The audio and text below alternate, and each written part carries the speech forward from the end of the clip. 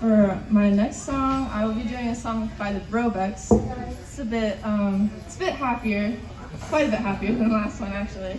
Um, it's called Love at First Sight. It's really cute. Here it goes.